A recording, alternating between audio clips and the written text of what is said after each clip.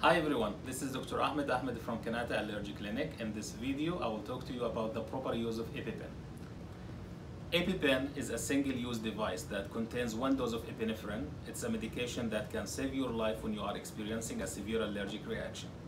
Once you show any signs of a suspected serious reaction to food, medication, or a sting, like throat tightness, shortness of breath, swollen lips, or a combination of hives and any other allergy symptom, or you suspect that you are starting an anaphylactic reaction, then you need to use the EpiPen immediately.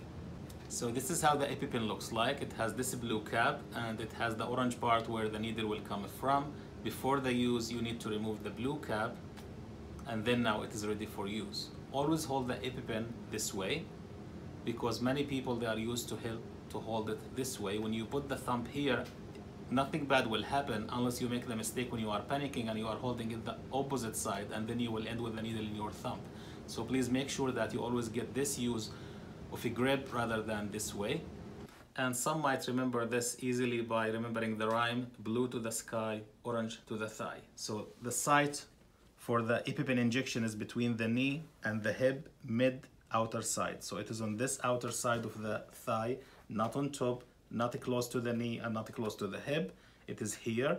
You need always to support the thigh because our natural reaction when we know that there is a needle to come is to run away from the needle which might spray the medication on top rather than getting the actual dose. So always support the thigh and hit with a swing movement the outer part of the thigh.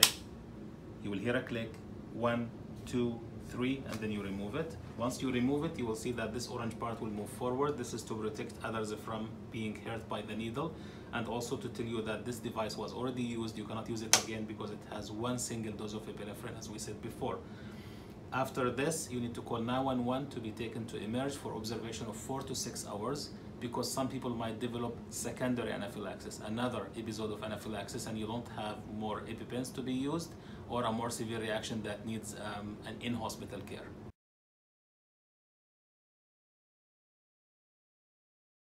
Blue to the sky, orange to the thigh. Remove the blue safety cap. Support the thigh.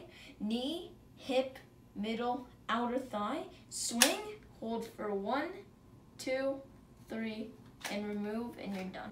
A few key things to remember. Um, you don't need to waste time removing regular pants before the injection. You can do it over jeans or regular pants. Always stay in lying position or sitting position when awaiting for the ambulance to come.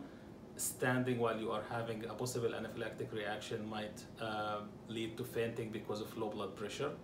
Always ask for a refill for the EpiPen that was used when you go to emerge.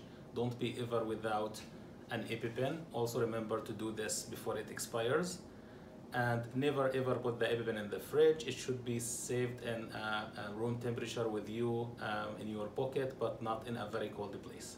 Thank you.